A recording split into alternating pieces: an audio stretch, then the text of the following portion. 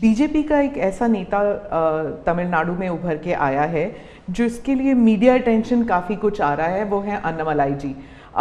तो वो काफ़ी कॉन्फिडेंट है कि तमिलनाडु में बीजेपी को डबल डिजिट फिगर आएँगे।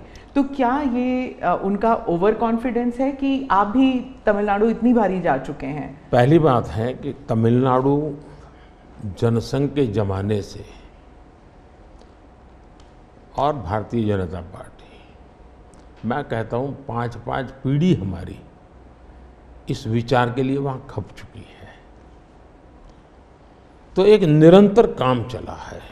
जब कांग्रेस से लोग निराश हुए तो प्रादेशिक पक्षों की तरफ़ गए। और लंबे अरसे तक प्रादेशिक पक्षों का जो कुछ भी कामकाज देखा है, अब लोग निराश हो गए। निराशा के इस माहौल में उन्होंने दिल्ली में भाजपा की सरकार का मॉडल देखा। हिंदुस्तान में अन्य राज्यों में भाजपा की सरकार का मॉडल देखा। देश भर में जो तमिल बंधु रहते हैं उन्होंने अपने घरों में जाके बताया भी हम जिस राज्य में रहते हैं वहाँ तो ये हो रहा है। तो लोग स्वाभाविक तमिल प्रजा कंपेरिजन करने लगी कि जो हवा खड़ा किया गया था ये तो अच्छा काम कर रहे हैं। अब जैसे मैंने तमिल काशी संगम किया तो तमिलनाडु में डीएम के पार्टी वाले लोग, ये तो पानीपुरी वाले पानीपुरी वाले कर करके मज़ाक उड़ाते थे। लेकिन जब तमिलनाडु के लोग काशी संगम कार्यक्रम में आए और काशी का रूप रंग देखा, उन्होंने कहा, ये हमने तो जो सुना था, ऐसा नहीं है। ये तो बहुत डेवलप दिखता है। बड़ी प्रगति हो रही है। आईटी का नेटवर्क दिखता है। इतना बड़ा गुस्सा पैदा हुआ है।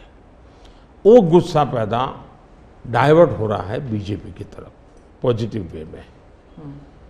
और अन्नामलाई एक बहुत ही अच्छे आर्टिकुलेट है, यंग है, बहुत ही अपनी आईपीएस कैडर में बहुत बड़ी प्रतिष्ठित नौकरी छोड़ कर के आए हैं।